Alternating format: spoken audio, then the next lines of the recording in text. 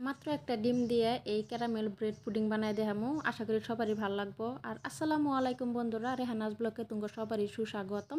এবার রেসিপি দেখো। আমি বেশি সময় নষ্ট না করে আমার কি কি বস্তু লাগবে আমি দিয়ে কই দিতেছি আর দিয়ে দিতেছি। এই যে প্রথমে একটা ডিম ভাঙিয়ে দিয়ে দিলাম।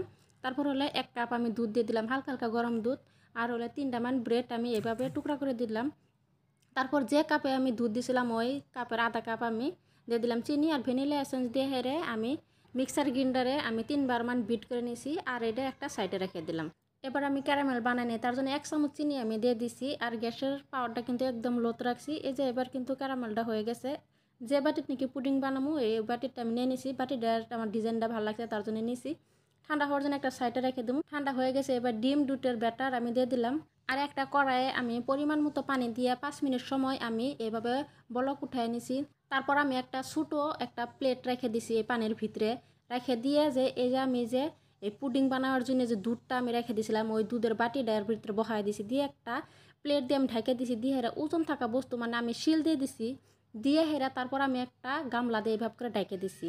আমি পাঁচ মিনিট সময় আমি গ্যাসের আঁচটা হাইয়ে দিয়ে হাইরে তারপর দশ মিনিট সময় লোত রেখে হাইরে আমি এই ক্যারামেল ব্রেড পুডিংটা আমি বানাই নিছি। আমি যেহেতু আজকে ছোটো করে আমি পুডিং বানাইতেছি, তার জন্য পরি পানির পরিমাণটা আমি ওইভাবে দিছি। তুঙ্গর যদি পুডিংয়ের সাইজটা যদি বেশি হয় মানে পুডিংটা যদি তোমরা বড় সাইজের বানাও, ওইভাবে কিন্তু পানির পরিমাণটা তোমরা কম বেশি করে দিবা। নয় কিন্তু যদি পানির পরিমাণটা যদি কম হয়, তে কিন্তু এই কড়াইটা বা যে কোনো যে কোনো একটা সসপ্যানে যদি তোমরা পুডিংটা যদি বানাওয়ার জন্য যদি বহায় দাও, কিন্তু পুড়ে যাওয়ার সম্ভাবনা থাকব। এবার কিন্তু যদি আমি দেখাই দিলাম হয়ে গেছে।